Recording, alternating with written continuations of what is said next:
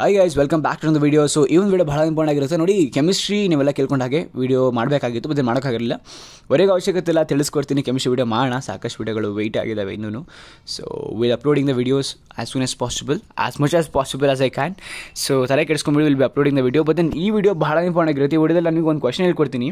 That is question number one this is one of the most expected question and the one of the most repeated question ಆಯಿತಾ? Repeated questions ಇದು. C ಏನಕ್ಕೆ ಹಿಂಗೆ ಹೇಳ್ತೀನಿ ಅಂತಂದರೆ ಇದೇ ಥರ ಕ್ವಶನ್ಗಳು ಬರುತ್ತೆ ಬಟ್ ಡೇಟಾ ಚೇಂಜ್ ಆಗಿರುತ್ತೆ, ಆಯಿತಾ? ಡೇಟಾ ಚೇಂಜ್ ಆಗಿರುತ್ತೆ, ಮತ್ತು ಅವ್ರು ಕೇಳಿರ್ತಕ್ಕಂಥ ಸ್ಪೆಕ್ಸ್ ಸ್ವಲ್ಪ ಚೇಂಜ್ ಆಗಿರ್ಬೋದು ಸ್ಪೆಕ್ಸ್ ಅಂದರೆ ಸ್ಪೆಸಿಫಿಕೇಷನ್ಸ್ ಲೆಟ್ಸ್ ಇಲ್ಲಿ ಏನು ಕೇಳಿದ್ದಾರೆ which reagent is left in excess ಅಂತ ಕೇಳಿದ್ರೆ ಹೌ ಮಚ್ ಅಂತ ಕೇಳಿದ್ದಾರೆ ಆಯಿತಾ? ಸೊ ನಿಮಗೆ ಬೇರೆ ಕಡೆ ಬೇರೆ ಥರ ಕೇಳಬಹುದಾಗಿರುತ್ತೆ. But then question type is very similar ಇಂಥ ಕ್ವಶನ್ಗಳನ್ನ ಸಾಲ್ವ್ ಮಾಡೋದಕ್ಕೆ ನಿಮಗೆ ಅಪ್ರಾಕ್ಸಿಮೇಟ್ಲಿ ಮೂರುವರೆಯಿಂದ ನಾಲ್ಕು ನಿಮಿಷ ಬೇಕಾಗುತ್ತೆ. ಬಟ್ ದೆನ್ ತಲೆ ಕೆಡಿಸ್ಕೊಬಿಡಿ, ಮೇ ಹ್ಞೂ ನಾ ನಿಮ್ಮ ಟೈಮ್ ರೆಡ್ಯೂಸ್ ಮಾಡ್ತೀನಿ. ನಾ ಹೇಳೋ ಥರ ಫಾಲೋ ಫಾಲೋ ಮಾಡಬೇಕಾಗಿರುತ್ತೆ. ಬಟ್ ನಿಮ್ಮ ಕಾನ್ಸಂಟ್ರೇಷನ್ ನಿಮ್ಮ ಕಾಮನ್ ಸೆನ್ಸ್ ಕರೆಕ್ಟಾಗಿ ಕೆಲಸ ಮಾಡಬೇಕಾಗಿರುತ್ತೆ ಇಂಥ ಕ್ವಶನ್ಗಳಿಗೆ ಆನ್ಸರ್ನ ಗೆಸ್ ಮಾಡೋದಕ್ಕೆ. Not guessing approximately hundred percent accuracy ಇರುತ್ತೆ ಆನ್ಸರ್ನ ತೆಗಿಬೋದಾಗಿರುತ್ತೆ. ಐ ಗ್ಯಾರಂಟಿ ಯು ನನ್ನ ಮೆಥಡ್ನ ಫಾಲೋ ಮಾಡಿದ್ರೆ. ಆಯಿತಾ? ಗೆಸ್ ಮಾಡೋದೇನು ಹೇಳ್ಕೊಡ್ತಾರೆ ನಾನು ನಿಮಗೆ? ಸಾಲ್ವ್ ಮಾಡೋದು ಹೇಳ್ಕೊಡ್ತಾ ಇದ್ದೀನಿ. ಸೊ ಗಮನ ಕೊಟ್ಟು ಈ ಕ್ವಶನ್ನ ಕೇಳಿಸ್ಕೊಡಿ. ಅಷ್ಟೇ ಅಲ್ಲ, ಬೇರೆ ಕ್ವಶನ್ ಎಕ್ಸ್ಪ್ಲೇನ್ ಮಾಡ್ತೀನಿ ನಾನು ನಿಮಗೆ. So this is gonna be very very very interesting video so let start this video ಅದಕ್ಕಿಂತ ಮುಂಚೆ ನೀವು ಚಾನಲ್ ಸಬ್ಸ್ಕ್ರೈಬ್ ಆಗಿ ನಾನು ಸಬ್ಸ್ಕ್ರೈಬ್ ಆಗಿ. ಆ್ಯಂಡ್ ನೀವು ಸಣ್ಣ ಆ್ಯಡ್ ಬರುತ್ತೆ ನೋಡ್ಕೊಂಡ್ರೆ ಡೈರೆಕ್ಟಾಗಿ ನಾನು ನಿಮಗೆ ವಿಡಿಯೋ ಸಿಗ್ತೀನಿ. ನಮಗೆಲ್ಲ ಗೊತ್ತು ಒಂದು ಒಳ್ಳೆ ಕೆರಿಯರ್ ಬೇಕು ಅಂತಂದರೆ ಐ ಐ ಟಿ ಅಥವಾ ಏಮ್ಸನ್ನು ಟಾರ್ಗೆಟ್ ಮಾಡಬೇಕು. ಆ್ಯಂಡ್ ನಾವು ಐ ಐ ಟಿ ಅಥವಾ ಏಮ್ಸನ್ನು ಟಾರ್ಗೆಟ್ ಮಾಡಬೇಕು ಅಂತಂದರೆ ನಮ್ಮ ಪ್ರಿಪರೇಷನ್ ತುಂಬ ಸ್ಟ್ರಾಂಗ್ ಆಗಿರಬೇಕಾಗಿರುತ್ತೆ ಅದೇ ನಮ್ಮ ಪ್ರಿಪರೇಷನ್ ನೈನ್ತ್ ಮತ್ತು ಟೆಂತ್ ಸ್ಟ್ಯಾಂಡರ್ಡಿಂದಲೇ ಸ್ಟಾರ್ಟ್ ಆದರೆ ನಮ್ಮ ಪ್ರಿಪರೇಷನ್ ಇನ್ನೆಷ್ಟು ಚೆನ್ನಾಗಿರಬಹುದು? ನೀವೇ ಹೇಳಿ. ಸೊ ನಮ್ಮ ನೀಡ್ಸನ್ನು ಅರ್ಥ ಮಾಡಿಕೊಂಡು ಫಿಸಿಕ್ಸ್ ಫಲ ನಮಗೋಸ್ಕರ ಅಂತಲೇ ಲಾಂಚ್ ಮಾಡಿದೆ. ಫಿಸಿಕ್ಸ್ ಫಲದ ಸಾಕಷ್ಟು ಬ್ಯಾಚ್ಗಳು ಆ ಬ್ಯಾಚ್ಗಳ ಬಗ್ಗೆ ನಾನು ಇವತ್ತು ಮಾತಾಡ್ತಾ ಇರ್ತಕ್ಕಂಥದ್ದು.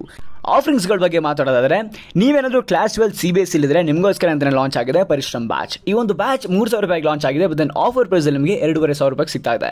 ಈ ಒಂದು ಬ್ಯಾಚ್ ಮೇ ಏಯ್ತಿಂದ ಸ್ಟಾರ್ಟ್ ಆಗ್ತಾ ಇದೆ and then thirty first December ಒಳಗಡೆ ನಿಮ್ಮ ಎಂಟೈರ್ ಸಿಲೆಬಸ್ ಅನ್ನು ಕವರ್ ಮಾಡಿಕೊಡುತ್ತೆ. ಆ್ಯಂಡ್ ಇಲ್ಲಿ ಕವರ್ ಮಾಡೋ ಸಬ್ಜೆಕ್ಟ್ಗಳು physics chemistry biology mathematics and then English ಈ ಕ್ಲಾಸ್ಗಳು ವಾರದಲ್ಲಿ ಐದು ದಿನ ಇರುತ್ತೆ and then class duration one hour forty five minutes ಇರುತ್ತೆ. ಅದು ಬಿಟ್ಟರೆ victory twenty twenty four batch ಇದೆ, ಇದು I C S C class tenth ಅವರಿಗೆ. ಅದು ಬಿಟ್ಟರೆ ರೇಡಿಯಂಟ್ ಬ್ಯಾಚ್ ಇದೆ, ಇದು I C S C class ninth ಅವರಿಗೆ. ನೀವೇನಾದರೂ ಈ ಒಂದು ಬ್ಯಾಚನ್ನು ತೊಗೊಂಡ್ರೆ ಕಂಪ್ಲೀಟ್ ಟೆಂತ್ ಫೌಂಡೇಶನ್ ಸಿಗ್ತಾ ಹೋಗುತ್ತೆ and then I C S C boards and then Olympiad batch ನಿಮಗೆ ಸಿಗ್ತಾ ಹೋಗುತ್ತೆ ನೀವೇನಾದರೂ ವಿಕ್ಟ್ರಿ ಟ್ವೆಂಟಿ ಟ್ವೆಂಟಿ ಫೋರ್ ಬ್ಯಾಚ್ನ ತಗೊಂಡ್ರೆ ನಿಮಗೆ ಒಲಂಪಿಯಾಡ್ ಚಾಲೆಂಜರ್ ಬ್ಯಾಚ್ ನಿಮಗೆ ಫ್ರೀಯಾಗಿ ಸಿಗ್ತಾ ಹೋಗುತ್ತೆ ನೀವೇನಾದರೂ ರೇಡಿಯಂಟ್ ಬ್ಯಾಚ್ನ ಖರೀದಿ ಮಾಡಿದ್ರೆ, ನಿಮಗೆ ನೈನ್ತ್ ಫೌಂಡೇಶನ್ ಸಿಗ್ತಾ ಹೋಗುತ್ತೆ and then I C S C board ninth ಮತ್ತು ಒಲಂಪಿಯಾಡ್ ಬ್ಯಾಚ್ ನಿಮಗೆ ಪೂರ್ತಿ ಸಿಲೆಬಸ್ ಸಿಗ್ತಾ ಹೋಗುತ್ತೆ ಏಸ್ ಯುವರ್ ಎಕ್ಸಾಮಿನೇಷನ್ ಡ್ಯೂರೇಷನ್ ಬಗ್ಗೆ ಮಾತಾಡೋದಾದ್ರೆ ಈ ಒಂದು ಕೋರ್ಸ್ ವಾರದಲ್ಲಿ ಆರು ದಿನ ಇರ್ತಾ ಹೋಗುತ್ತೆ. ಆ್ಯಂಡ್ ಟೀಚ್ ಮಾಡೋ ಸಬ್ಜೆಕ್ಟ್ಗಳು physics chemistry biology mathematics English history ಸಿವಿಸ್ geography and then economics and ನಿಮಗೆ ಡೈಲಿ ಅಸೈನ್ಮೆಂಟ್ಗಳ ಜೊತೆ ವಿಡಿಯೋ ಸೊಲ್ಯೂಷನ್ಸ್ ಸಿಗ್ತಾ ಹೋಗುತ್ತೆ. ಐ ವೇಟಿಂಗ್ ಫಾರ್ ಈ ಒಂದು ಕೋರ್ಸ್ನ ನೀವು ಅವೈಲೇಬಲ್ ಮಾಡ್ಕೋಬೇಕು ಅಂತ ಅನ್ಕೊಂಡಿದ್ರೆ ಕೇವಲ ಮೂರು ಸಾವಿರ ರೂಪಾಯಿಗೆ ಲಾಂಚ್ ಆಗಿದೆ ಇದು. Rather three thousand four hundred ninety nine so link description ಇದೆ and you can use my code M A N one fifty to get instant one fifty rupees discount on your every purchase so what I waiting for go and avail course right ನಾವು okay ನೀವು ಯಾವ question ಗಮನ ಕೊಟ್ಟು ಕೇಳಿಸ್ಕೊತಿರೋ ಕೇಳಿಸ್ಕೊಳ್ಳೋ ಗೊತ್ತಿಲ್ಲ. The first question the very first question which I'm solving right now ಅದನ್ನು ಗಮನ ಕೊಟ್ಟು ಕೇಳಿಸ್ಕೊಬೇಕಾಗಿರುತ್ತೆ. ಆಯಿತಾ? ಬಿಕಾಸ್ ಇದು one of the most important type of questions and ಗಮನ ಕೊಟ್ಟು ಕೇಳಿಸ್ಕೊಳ್ಳಿ. ನೀವು ಇದನ್ನು ಸಾಲ್ವ್ ಮಾಡಬೇಕಂದ್ರೆ ನಿಮಗೆ ಮೂರಿಂದ ನಾಲ್ಕು ನಿಮಿಷ ಬೇಕಾಗುತ್ತೆ, ಆಯಿತಾ? ಬಟ್ ನಾನು ಹೇಳೋ ಮೆಥಡ್ ಫಾಲೋ ಮಾಡಿದ್ರೆ ನೀವು ಅಂಡರ್ ಒನ್ ಮಿನಿಟ್ ಅಥವಾ under thirty seconds forty seconds ನೀವು ಅಪ್ರಾಕ್ಸಿಮೇಟ್ಲಿ ನಿಮ್ಮ ಕೆಪಾಸಿಟಿ ಮೇಲೆ ನೀವು ಬೇಗ ಬೇಗ ಸಾಲ್ವ್ ಮಾಡಿಬಿಡ್ತೀರ ಕ್ವಶನ್ನ ಆಯಿತಾ? ಬೇಸಿಕಲಿ ಈ ಕ್ವಶನ್ ಏನಿದೆ ಮತ್ತು ಏನು ಎಕ್ಸ್ಪೆಕ್ಟ್ ಮಾಡ್ತಿದ್ದಾರೆ ಅನ್ನೋದನ್ನ ಅಬ್ಸರ್ವ್ ಮಾಡಿ, ಆಯಿತಾ? ನಿಮಗೆ ಈ ಕ್ವಶನ್ ಸಾಲ್ವ್ ಮಾಡೋದಕ್ಕೆ ಬೇಕಾಗಿರ್ತಕ್ಕಂಥ ಮೇನ್ ಸ್ಕಿಲ್ ಏನಪ್ಪ ಅಂತಂದರೆ ಕ್ವಶನ್ ಓದ್ತಾ ಓದ್ತಾ ಈ ಕ್ವಶನ್ನ ಫಾರ್ಮ್ ಮಾಡ್ಕೊಳ್ಳೋದು. ಅದು ಯಾವ ರೀತಿ ಮಾಡೋದು? ತಲೆ ಕೆಡಿಸ್ಕೊಂಬೇಡಿ. ಎರಡು ಎಲಿಮೆಂಟ್ ಇದ್ರೆ ಯಾವ ರೀತಿ ಮಾಡೋದಂತ ಸಿಂಪಲಾಗಿ ಹೇಳ್ಕೊಡ್ತೀನಿ. ಗಮನ ಕೊಟ್ಟು ಕೇಳಿಸ್ಕೊಳ್ಳಿ. ಕ್ವಶನ್ ಏನು ಹೇಳ್ತಿದೆ? One gram of M G is burn with zero point two eight gram of O two ಅಂತ ಹೇಳ್ತಿದೆ. ಆಯಿತಾ? ಇನ್ ಕ್ಲೋಸ್ ಬೆಸಲ್ ಒಂದು ಕ್ಲೋಸ್ ಬೆಸಲಲ್ಲಿ one gram of M Jina zero point two eight gram of O two ಜೊತೆ burn ಮಾಡ್ತಾ ಇದ್ದಾರೆ. And ಇಲ್ಲಿ ಬೇಕಾಗಿರೋ ಸ್ಪೆಕ್ಸ್ ಏನು ಕೇಳಿದ್ರೆ ಸ್ಪೆಸಿಫಿಕೇಶನ್ಸ್ ಏನು?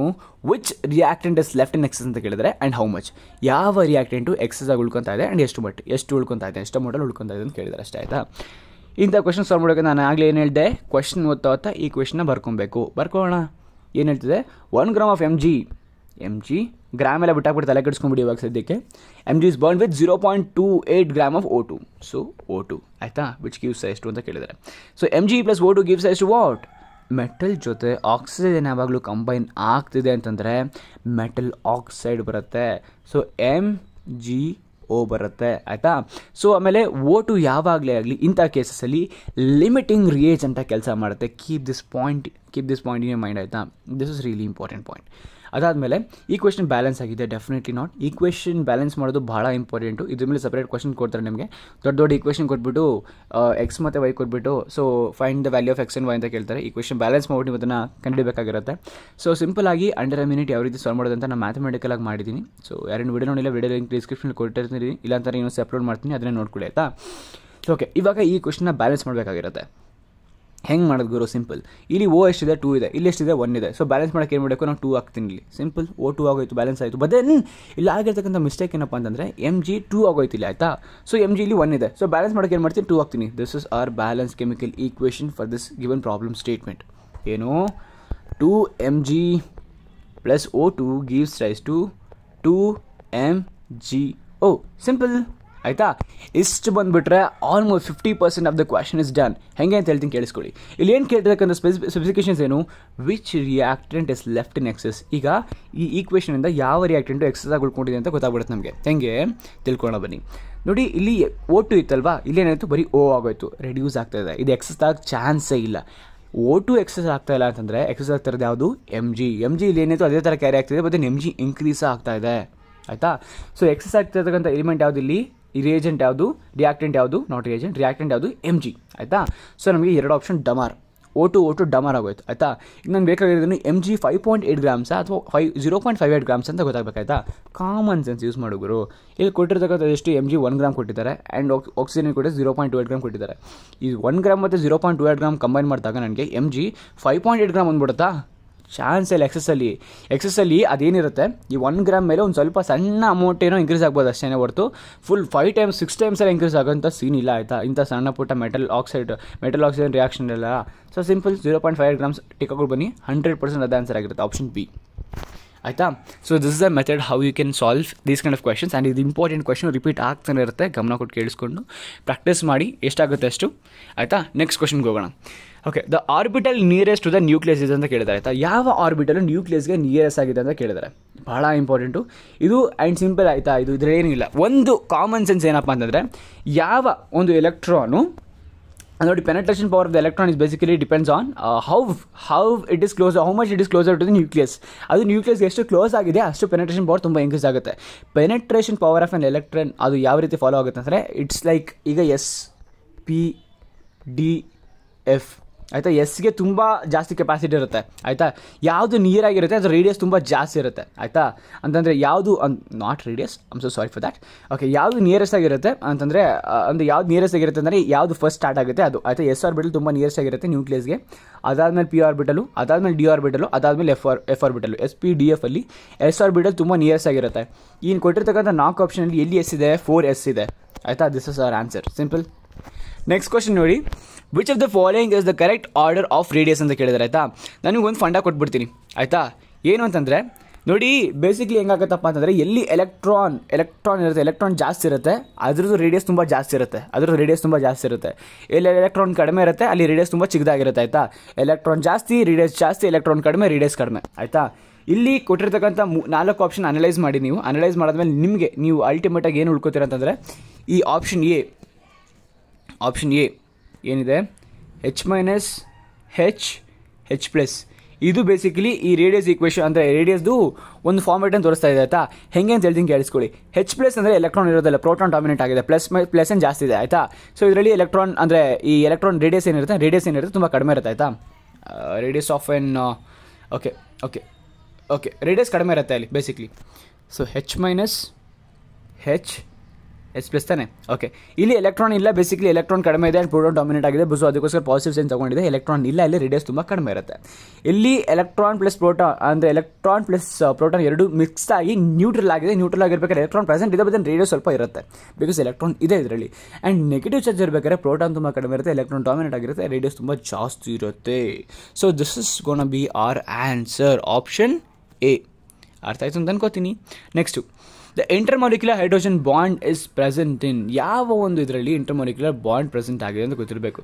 ಸಿ ಇಂಥ ಕ್ವಶನ್ಗಳಿಗೆ ನಾನು ನಿಮಗೆ ಏನೂ guarantee ಕೊಡೋಕ್ಕಾಗೋದಿಲ್ಲ. Only thing which you can follow is following the structures of everything learning the structures of everything ಎಲ್ಲಾದರೂ ಸ್ಟ್ರಕ್ಚರ್ ಕಲ್ತ್ಕೊಳ್ಳಿ, ಆಯಿತಾ?